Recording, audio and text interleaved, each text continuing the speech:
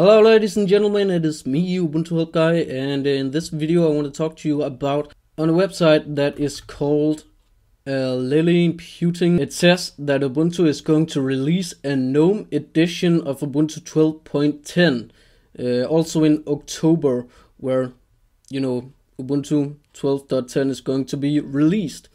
Now, uh, the GNOME version of Ubuntu is going to be you know, just like what Ubuntu used to be a few years ago. So uh, it's basically going to be uh, Ubuntu without Unity. Now uh, I know, and it also says on the websites uh, I found this on, that you can install the GNOME desktop environment, but uh, what this basically means is that you don't have to download the normal Ubuntu desktop uh, version or the normal Ubuntu OS with Unity. You simply, if you want to use uh, the Ubuntu GNOME version, you can just, you know, uh, download Ubuntu with GNOME. So um, this is very exciting because many people out there uh, hates Unity. And I used to hate Unity, but I don't do that anymore, so I will still be using Unity. The neat thing is that uh, Canonical or basically Canonical, they um, listened to uh, the users. Now I want to say if you don't like Unity by now, uh, there are obviously other versions out there or desktop environments such as Kubuntu, KDE, uh, Xubuntu with XFCE and so on.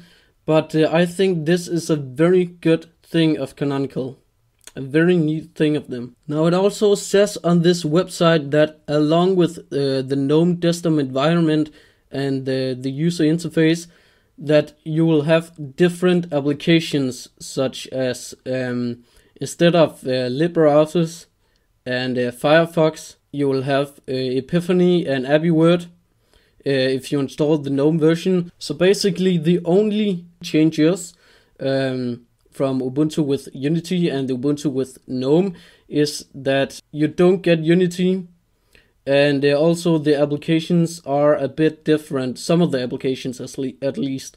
So um, again ubuntu ubuntu software center on uh, unity um, but you might see the gnome PackageKit system uh, for installing and updating apps and downloading apps on uh, the GNOME version of Ubuntu. So the only thing about this is that they are not really clear uh, about what the operating system is going to be called. You know, the Ubuntu with GNOME. So um, what they call it so far is uh, GNOME Ubuntu, but uh, they might change that in the future. So the question I have for you guys is, do you think that this is a good idea with um, Ubuntu basically leaving you with two choices, either Unity or GNOME? Do you think this is a good good idea?